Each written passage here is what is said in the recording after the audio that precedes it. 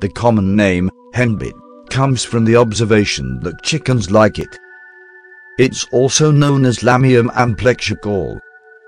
Along with chickens, hummingbirds also enjoy this wild edible for the nectar. Henbit provides valuable erosion control in many cropland fields in the southern United States. Henbit is part of the mint family, but unlike many of its relatives in the mint family, it does not have a strong or distinctive mint scent. It is also easily confused with purple dead nettle L. Purpureum, which has petioled leaves all the way to the top leaves. The middle and upper leaves of L. amplexicaulis do not have petioles, and the leaves are typically smaller than those of purple dead nettle. This edible plant is also an important early season source of nectar and pollen for honeybees.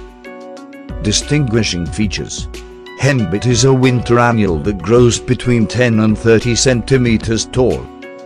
This edible plant is sparsely covered with fine hairs that point downward, and it grows from a shallow taproot that becomes finely branched.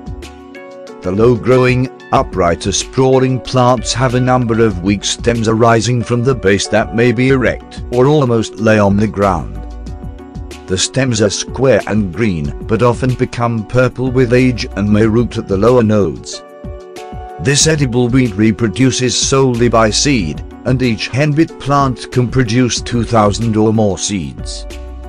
It also spreads by producing roots on lower stems that touch the ground. Flowers. Tiny, dark pink flowers occur in rings in the upper leaf axils. Open flowers are somewhat orchid-like, with a white face and dark red spots. Each flower produces a four-seeded fruit. Leaves. Leaves are arranged in opposite pairs. The lower leaf pairs are farther apart from each other than the upper leaf pairs. Leaves are round or heart-shaped, are 0.95 to 1.9 centimeters long, and leaf margins have rounded teeth veins of the upper leaf surface are recessed, giving it a somewhat wrinkled look. Lower leaves grow on short stalks, and upper leaves clasp the stem. Height. This wild edible can grow anywhere between 10 and 30 centimeters high. Habitat.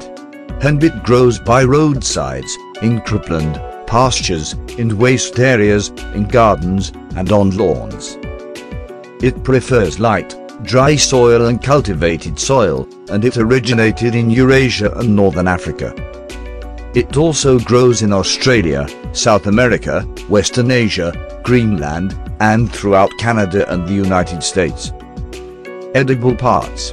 Henbit can be consumed fresh or cooked as an edible herb, and it can be used in teas. The stem, flowers, and leaves are edible, and although this is in the mint family, Many people say it tastes slightly like raw kale, not like mint.